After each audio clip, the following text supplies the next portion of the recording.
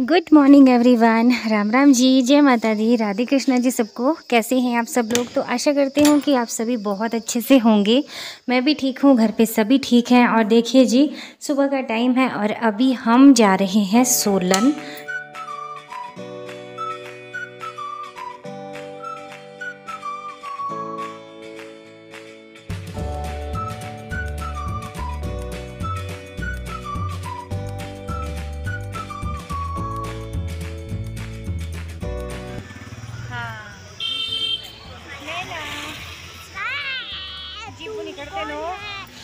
सोलन आई थी मैं, बच्चे जो है ना, वो थोड़े बीमार हो रहे थे, इनको कोल्ड हुआ हुआ था थोड़ा तो इनको दवाई ली। दवाई लेने के बाद मैं अभी यहाँ पे बस स्टैंड पे खड़ी हुई हुई थी। साथ में सभी बच्चे आए हुए हैं। धैर्य भी है, नैना स्कूल गई थी। धैर्य को जुकाम खांसी था, बुखार था, और सार्थक को भी थोड़ा थोड़ा जुकाम लग रहा था तो मैंने सोचा सभी को दवाई ले लेती हूँ।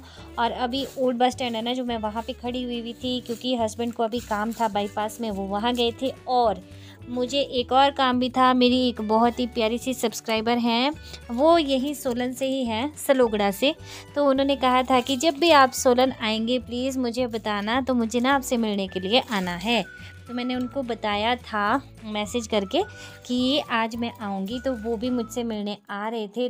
तो वीडियो में तो नहीं आए वो, लेकिन उन्होंने फ़ोटो क्लिक कराई यहाँ पे तो मैंने सोचा कि चलिए आपके साथ भी शेयर करती हूँ। तो इनसे मिलने के बाद मैं चली गई थी दोबारा से मार्केट में अंदर, क्योंकि मुझे लेने थे सार्थक के लिए शूज़ तो शूज़ यहाँ पे ले रही हूँ इसके लिए, क्योंकि सर्दियाँ आ गई हैं ना, और गर्मियों के लिए इसके पास जो थी, चप्पल जो होती है ना फ्लोटर तो थी, लेकिन अभी ठंड हो चुकी है तो यहाँ पर शूज़ लिए मैंने।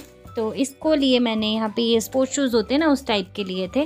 और मुझे अच्छे लगते मुझे दूसरे पसंद आए थे, लेकिन वो बड़े थे और उसमें ना छोटा नाप भी नहीं था। वो होते हैं ना, जो थोड़े टांग में भी होते हैं, थोड़े ऊपर तक, वो वाले देख रही थी मैं। वो फिर बड़ा था इसको ना, और इसके पैर जो है ना, वो छोटे हैं।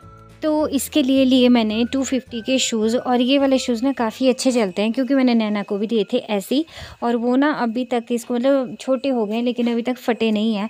तो सार्थक को ना घर में पहनाने को काम आते हैं वो। और बस यहाँ पे देखिए, आजकल करवा चौथ की इतनी चमक धमक चली हुई ना, पूरी मार्केट में बहुत ज़्यादा, दिवाली के टाइम तो बिल्कुल ऐसा होता है सजी धजी हुई हमारी सोलन। लगता है कि जैसे बिल्कुल जगमगाती हुई, जैसे तारे जगमगाते हैं ना, उस तरह से। और यहाँ पे धैर्य जो है वीडियो बना रहा था और शौर्य बार बार अपना मुँह जो है कवर कर रहा था। तो ये देखिए, यहाँ पे शूज़ जो है मैंने ले लिए थे और लेना तो वैसे मुझे और भी था सामान, लेकिन क्योंकि सार्थक को उठाया हुआ था तो भाई मेरे अंदर इतनी कैपेसिटी नहीं है, बच्चे के साथ मैं बस पूछो ना मैं नहीं ले सकती थी। क्योंकि फिर ये बीमार भी था और ये फिर नीचे ना बिल्कुल ही नहीं रह रहा था। तो कभी कभी होता है ना बच्चों को, और ये तो ना वैसे अभी तक मतलब ढाई तीन साल का हो जाएगा अभी ये, और ये बिल्कुल भी नहीं चलता है। मेरे पास तो बिल्कुल नहीं चलता तो गोदी में लेने को ही होता है। बीच में थोड़ी थोड़ी देर के लिए मैं, जैसे कि आधे मिनट के लिए धैर्य के पास इसको पकड़ा रही थी कि धैर्य थोड़ी देर पकड़ ले। बाकी अदरवाइज़ ये रह ही नहीं रहा था। तो बस अभी हम घर की ओर वापस आ रहे हैं। तो ये निचले चौक से हम निकल चुके हैं आगे।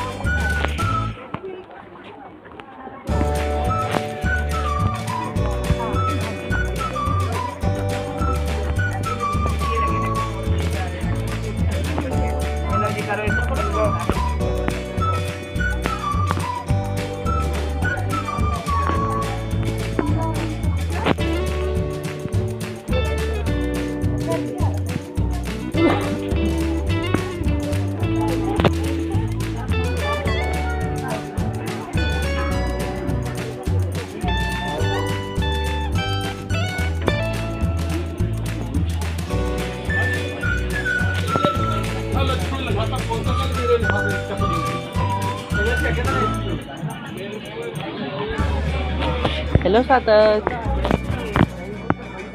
कोई जवाब नहीं दे रहा बेशरम। थोड़ी तो बात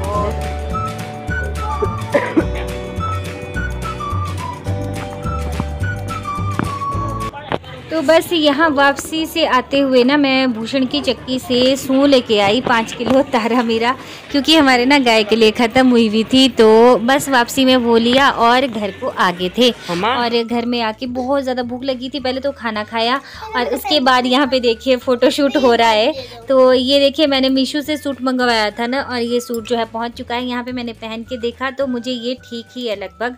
और थोड़ा सा फिटिंग देनी पड़ेगी इसमें थोड़ी सी क्योंकि मैंने एक साइज़ बड़ा मंगाया था तो यहाँ पे देखिए फ़ोटो शूट हो रहा है। ये धैर्य ने कैप कैप्चर की है फ़ोटोज़ तो मुझे काफ़ी अच्छा लगा और मैंने ना ये करवा चौथ के लिए मंगाए। तो इस बारी मैंने सिंपल सा सूट लिया बहुत ज़्यादा हैवी एम्ब्रॉयडरी वाला नहीं लिया है सिंपल प्रिंटेड सूट है लेकिन देखने में बहुत ही सुंदर लग रहा था और मुझे बहुत अच्छा लगा। और काफ़ी अच्छा है इसका फैब्रिक भी अच्छा है जब मर्ज़ी पहनो आप गर्मी सर्दी कोई दिक्कत नहीं है।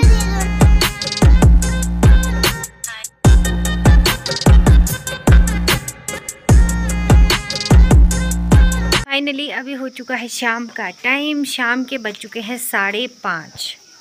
साढ़े पाँच और मैं सोलन से पहुँची तीन, साढ़े तीन हो गए थे शायद.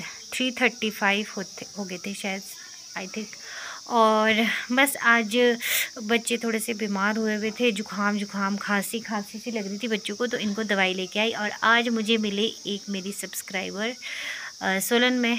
तो उन्होंने बहुत टाइम से बोल रहे थे वो कि मुझे मिलना है आपसे, मुझे मिलना है आपसे।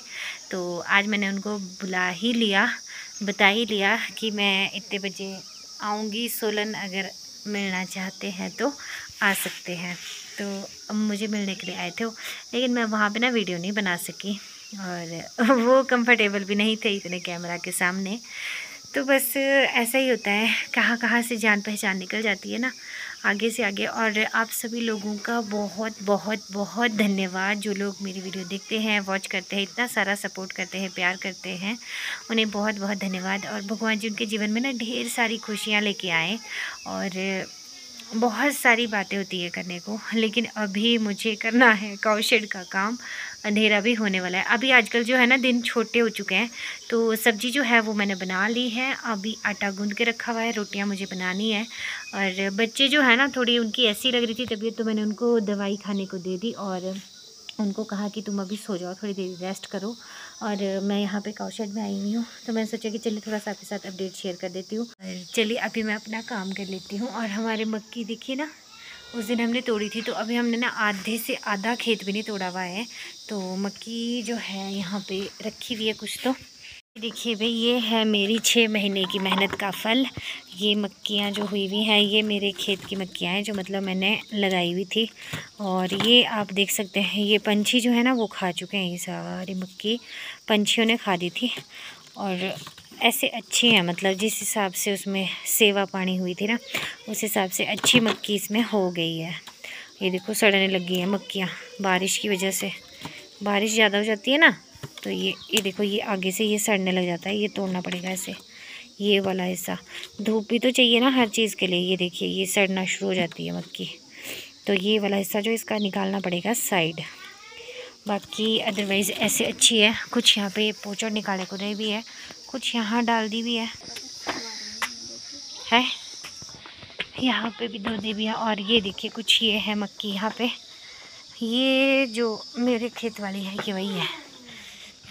कुछ यहाँ है और कुछ उधर भी है। ये देखो थोड़ी थोड़ी उधर भी है। ये देखो। तो जब अपनी मेहनत की कमाई दिखती है ना तो उसको देख के कितनी खुशी होती है ना। बता नहीं सकते इस बात को।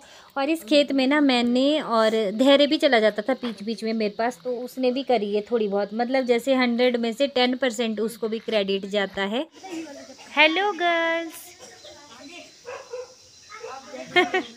जय हिंद, जय भारत। चलो चलो, लगे रहो। लगे रहो मुन्ना भाई। तो मुझे उम्मीद है कि व्लॉग आपको अच्छा लगा होगा। अच्छा लगा होगा तो प्लीज़ वीडियो को लाइक शेयर ज़रूर कीजिएगा और चैनल पे फ़र्स्ट टाइम विज़िट कर रहे हैं तो चैनल को सब्सक्राइब भी कीजिएगा। और यहाँ पे मैं अपना कौशेट का सारा काम करने के बाद नैना को होमवर्क लगी थी करवाने। तो बस अभी बच्चों को होमवर्क करवा लिया है। खाना खाने की तैयारी हो रही है और मैं खा रही थी मक्की। तो व्लॉग का एंड जो है ना गाइज़ वो मैं यहीं पे करूँगी। और बच्चे ना पार बहुत ज़्यादा शोर कर रहे थे तो मुझे यहाँ पे आना पड़ा। कई बार ना बहुत ज़्यादा इरीटेट करते हैं। और आजकल तो बिल्कुल भी वॉइस ओवर देते टाइम ही मैं इनको चुप चुप बोलती हूँ तो ये और ज़्यादा बोलते हैं। कई बार मुझे कमेंट भी आते हैं कि आपके बच्चे का शोर बहुत ज़्यादा आता है वीडियो में, क्या करूँ? बच्चों को कहीं नहीं डाल सकते और ये हमारी ज़िंदगी का एक अटूट हिस्सा है और ज़िंदगी ही है हमारी ये। और बहुत बोलती हूँ, उनको सुनते ही नहीं है, बिल्कुल नहीं। बोलती हूँ, बेटे चुप हो जाओ, मैं अभी वीडियो एडिट कर रही हूँ वॉइस ओवर दे रही हूँ। तो पता नहीं कैसा बचपना है इनका कि इनको समझ ही नहीं आता कि मम्मी काम कर रही है। तो चलिए, उम्मीद है आपको अच्छा लगा होगा। वीडियो अच्छी लगी होगी। तो अभी मुझे फिर से जाना है मार्केट क्योंकि मेरा सामान जो है ना मैंने अभी ख़रीदा ही नहीं है करवा चौथ का। तो जाऊँगी उस दिन। तो अकेली होंगी ना फिर कैमरा पकड़ने वाला चाहिए ना। और चलिए देखती हूँ जिस हद तक जितना कैप्चर हो पाएगा करूँगी। चलिए ब्लॉग का एंड यहीं पे कर रही हूँ। मिलूँगी आपसे एक और नए ब्लॉग के साथ। जय माता दी, जय सिया राम। शुभ रात्रि बाय बाय